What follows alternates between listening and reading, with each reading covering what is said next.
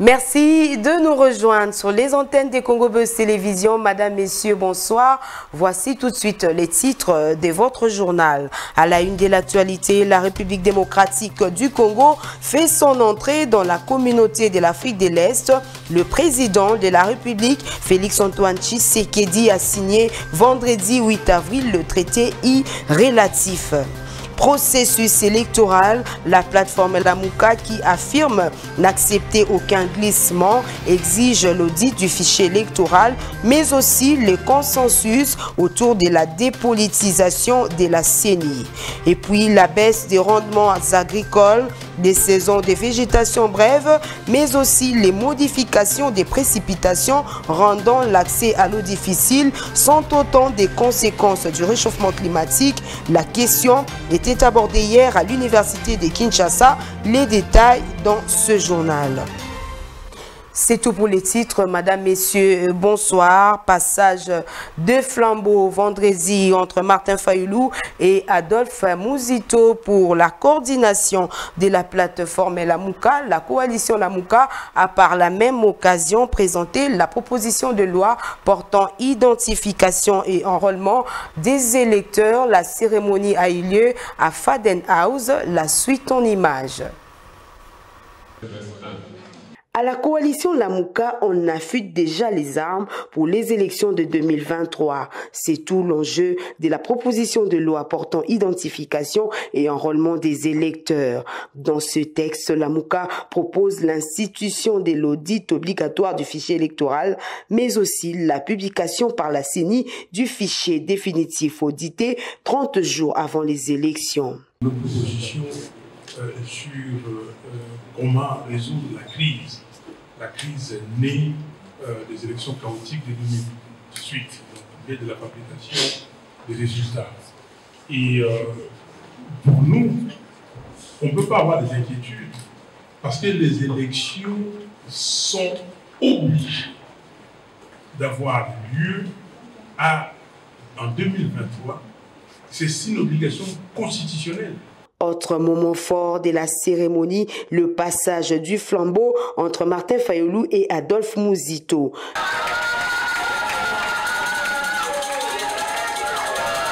Le coordonnateur sortant d'Elamouka cède ainsi le fauteuil après trois mois d'exercice de son mandat. La coalition Lamouka affirme n'accepter aucun glissement et exige en même temps le consensus autour de la dépolitisation de la CENI. Lamouka se, se, prépare et ça, ce n'est pas de la blague. Vous avez vu Nouvelle Élan, vous avez vu SID, vous avez vu ADD Congo. Bref, Lamouka est prête. Même s'il y a élection demain, nous allons aller et les gagner. Mais avec une CENI issue du consensus, d'où la nécessité, l'impérieuse nécessité d'obtenir un consensus entre les parties prenantes. C'est possible. Et deux semaines suffisent pour qu'on aboutisse à ce consensus. Bon, il y en a qui parlent de glissement, qui parlent du changement de la Constitution ou de la modification de la Constitution. Ils peuvent rêver. En tout cas, pour nous, la Constitution sera respectée. Et la Constitution dans son ensemble. À noter que Martin Fayoulou est attendu ce samedi dans la ville d'Mbandaka où il tiendra un meeting populaire. Je disais dans les titres, le président de la République, Félix-Antoine Tshisekedi, a signé vendredi 8 avril le traité autorisant la République démocratique du Congo d'entrer par la grande porte dans la communauté de l'Afrique de l'Est. C'était lors d'un sommet extraordinaire à Nairobi, au Kenya. La cérémonie s'est déroulée en présence des chefs d'État de cette communauté. Maria Maba nous en parle. Le chef de l'État, Félix Tshisekedi, en ce jour depuis hier, jeudi 7 avril, à Nairobi, capitale kenyane, a signé ce vendredi 8 avril 2022, en présence du président kenyan Uhuru Kenyatta, le traité d'adhésion de la RDC à la communauté d'Afrique de l'Est. Cependant, l'agenda du chef de l'État a prévu également la signature d'un accord de coopération entre Nairobi et Kinshasa dans les secteurs de l'agriculture. En effet, l'agriculture en RDC est une des principales activités économiques du pays, elle présente un important potentiel du développement. Ainsi, à travers cet accord et en dotant la RDC des machines plus industrialisées, le problème de hausse de prix de produits agricoles pourrait être résolu et ainsi satisfaire non seulement les partenaires, mais aussi les Congolais. Notons que le chef de l'État participera à un sommet en quadripartite ce vendredi 8 avril à huis clos entre Kenya, Rwanda, Ouganda et la RDC qui sera sanctionné par un communiqué final. On va se rendre dans le Nord Kivu. Huit morts et trois blessés, c'est les bilans de l'explosion d'un bar dans la ville de Goma. L'annonce a été faite par le gouvernement provincial. Jules Billet pour les détails. Au moins huit morts enregistrés dans l'explosion d'une grenade jeudi 7 avril en début de la soirée vers 19h30 dans un bar au camp militaire de Katindo à Goma au Nord Kivu. D'après le gouverneur de province, le lieutenant général Constant Dima, une dizaine de blessés est enregistrée. Nous sommes arrivés, nous avons le, bilan et tout de suite là l'endroit est, scellé pour permettre donc aux scientifiques, la police scientifique de descendre pour qu'on sache exactement euh, qu'il s'agit de quel engin. Mais à à ma première vue sur euh, les lieux, mais j'ose croire qu'avec des déflagrations pareilles, euh, ce n'est pas ce que j'ai appris euh, par-ci par-là qu'il s'agit d'une grenade. En vue des impacts et de déflagration, j'estime que ça doit être un engin explosif improvisé que seuls les scientifiques vont nous déterminer donc euh, cet engin. Nous avons un lieutenant-colonel, un capitaine, euh, trois femmes et un enfant. Donc si euh, et que nous sommes sur les enquêtes. Les enquêtes sont en cours pour déterminer exactement il s'agit de quoi. Mais pour l'instant, la population doit rester calme et il ne faut pas qu'il y ait encore beaucoup d'attroupements comme nous sommes de, de, de voir. Même hier, il y a eu beaucoup d'attroupements nous, avions eu euh, difficilement accès ici.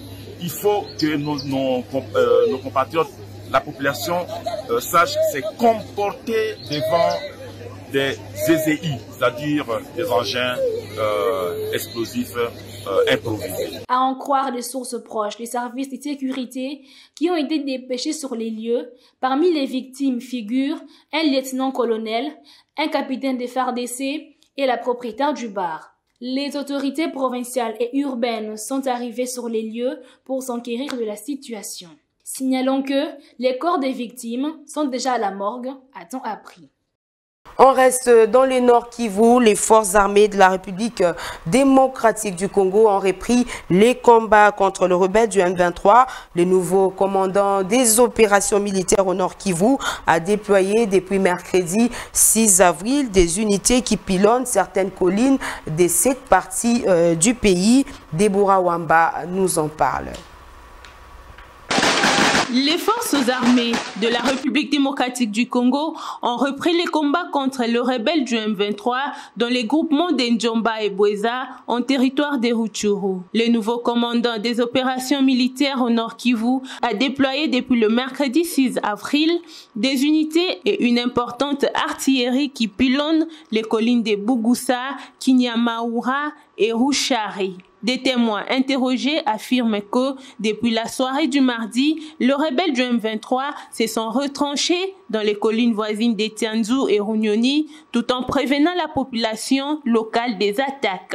Le secteur opérationnel Nord Kivu Soukoula 2 confirme l'incursion des éléments de RDF sur euh, les sols congolais et ces éléments ont eu à occuper six villages. Et ils sont arrivés jusqu'à 200 mètres de la route nationale numéro 2. D'autres témoins affirment que les forces armées de la RDC ont également demandé à la population de vider le village se trouvant dans les zones de combat. Aucun bilan n'a été donné par l'armée. Dans leur retranchement, euh, il y aurait eu pillage. Donc euh, voilà ce que vous devez retenir. Euh, dans les heures qui suivent, on pourra vous parler bien. C'est jeudi, lors d'un briefing avec la presse du territoire des Rutshuru, le porte-parole du secteur opérationnel Sokola 2, le colonel Guillaume Djike Kaiko, a promis de communiquer sur l'évolution de la situation sur le terrain tout en appelant les chevaliers de la plume à plus de professionnalisme. Entre-temps, la société civile du Nord Kivu et quelques députés provinciaux s'opposent à la prorogation de l'état des sièges dans cette partie euh, du territoire national. Pour eux, cette mesure n'a pas réussi à régler les problèmes d'insécurité dans les provinces concernées. Joint au téléphone par la rédaction des Congo Buzz Télévision, Dieudonné Lossa, président de la société civile du Nord Kivu, explique. 12 députés qui ont voté contre la prorogation de l'état de siège, je pense que ce sont des députés qui ont la situation réelle de l'Est, les deux provinces de l'Est où nous sommes sous l'état de siège. Vous allez vous-même remarquer que depuis presque une année qu'on a décrété l'état de siège, les massacres n'ont pas cessé, les violations de toutes sortes de droits de l'homme sont vécues par nous et particulièrement à Nituri, il n'y a pas longtemps, au Nord Kivu, MV3 qui n'était même pas actif est parvenu à prendre tous les villages. Alors comprenez que l'état de siège, dans sa forme à Nituri, ne, ne rassure pas la population. Euh, Qu'est-ce qui a changé? Je ne sais pas. Je ne sais pas ce qui a changé parce que tout le temps nous ne cessons de pleurer. La population continue à être concentrée sous les bâches dans les sites des déplacés. Les gens ne vont, ne vont pas au champ. Les circulations sur les routes difficiles, prolifération des barrières, des rassauts et même par les militaires FADC. Et tout à fait autre chose à présent, les fonctionnaires de l'État ont envahi vendredi 8 avril les agences des banques qui se plaignent d'être contraints de faire de longues files d'attente devant des distributeurs automatiques des billets pour être servis. Ils l'ont dit à Jacques Mounene. Regardez. Les fonctionnaires envahissent les agences des banques et font des longues files devant des distributeurs automatiques des billets ce vendredi 8 avril à Kinshasa. Ils sont nombreux à patienter pendant des heures debout sans siège pour toucher leur salaire. La paye intervient normalement entre le 20 et 25 du mois, malheureusement compte tenu de l'insuffisance des agences dans certaines communes de la ville de Kinshasa mais au problème des connexions et la lenteur des services bancaires entraînent la paie au-delà du 5 du mois suivant. Rappelons que c'est en 2014 que la bancarisation s'est appliquée dans les fonctions publiques de l'État sous l'impulsion des Matatampogno. C'était une stratégie mise en place pour étouffer les détournements des deniers publics. On va parler santé dans ce journal, Notre planète, notre santé. C'était le thème retenu pour la célébration de la journée internationale de la santé. Dans son adresse, le ministre de la Santé publique a indiqué que ce thème constitue un rappel opportun du lien inextricable qui existe entre la planète et notre santé. On l'écoute au micro des Congo Buzz Télévision. Le monde entier célèbre le 7 avril de chaque année comme journée mondiale de la santé. Le thème retenu pour l'édition de cette année est Notre planète, notre santé. Ce thème constitue un rappel opportun du lien inextricable qui existe entre la planète et notre santé au moment où la charge épidémiologique due aux maladies non transmissibles et infectieuses est en augmentation, tout comme l'incidence des problèmes liés au climat. En RDC, le thème retenu est Notre planète, notre santé vers la couverture santé universelle, car celle-ci est l'une des priorités du programme de notre gouvernement, dirigé par Son Excellence Jean-Michel Samalukunde Kienge, sous le leadership de Son Excellence Monsieur le Président de la République, chef de l'État, qui ne ménage aucun effort pour que celle-ci soit une réalité.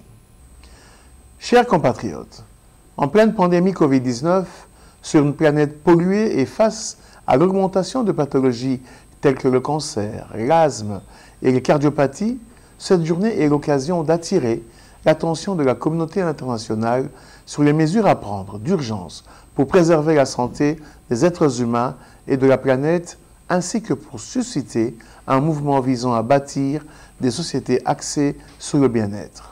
La rubrique Grand œil de ce jour est consacrée au réchauffement climatique dans le monde. Je le disais, la question du réchauffement climatique était abordée vendredi au département de l'agronomie de l'Université de Kinshasa sur euh, l'initiative de Global Scientist Rebellion. Les étudiants de ce département étaient sensibilisés sur les conséquences du réchauffement climatique. Bienvenue a fait la descente de l'Université de Kinshasa pour le compte de Congo Buzz Télévision. Regardez.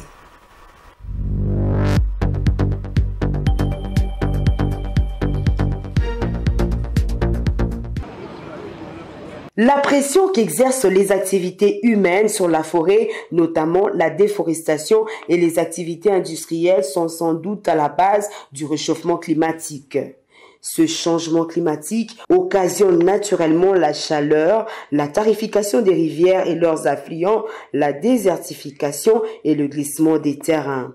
Le professeur Denis Bungu de la faculté d'agronomie à l'université de Kinshasa explique le rôle d'une plante. Par l'effet de la photosynthèse, la plante pompe des quantités importantes d'oxygène qui peuvent servir à la, à la respiration de tous les êtres qui restent, y compris l'homme. Parce que nous, depuis, que nous sommes nés, nous n'avons jamais libéré l'oxygène. Nous ne faisons qu'inhaler ou aspirer l'oxygène et rejeter le CO2.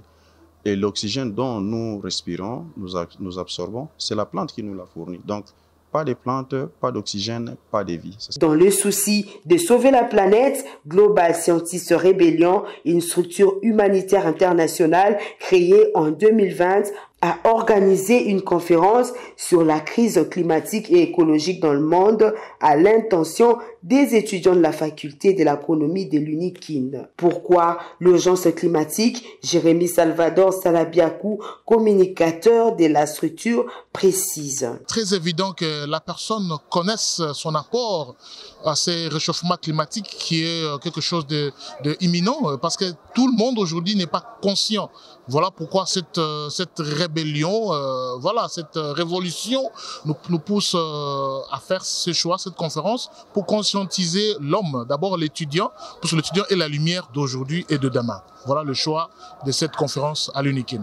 Le changement climatique, signalons-le, s'accompagnera d'effets sans précédent. On assistera par exemple à une baisse des rendements agricoles, des saisons de végétation brèves et les modifications des précipitations rendront l'accès à l'eau difficile. Une certaine opinion estime que l'agriculture constitue le principal moteur de la déforestation, d'où il faudra une agriculture écologique. Mais pourquoi le choix de l'uniquine? Les vice-doyens de la faculté de l'agriculture répond. L'université de Kinshasa, c'est la lumière de la société. L'université de Kinshasa, c'est la lumière du pays, c'est le rayonnement. C'est d'ici que partiraient les faisceaux qui vont éclairer l'ensemble de la communauté. Et c'est d'ici que partent aussi les faisceaux. Et les étudiants en sciences agronomiques, ils sont les premiers à être concernés par ces questions des changements climatiques, non seulement par euh, leur mission et leur travail, mais également par leur action dans les mécanismes qui permettraient de lutter contre les effets néfastes des changements climatiques. Un étudiant à la fin de cette journée de sensibilisation exprime sa satisfaction. Nous sommes euh, ingénieurs agronomes en formation. Nous sommes appelés à produire après notre exercice.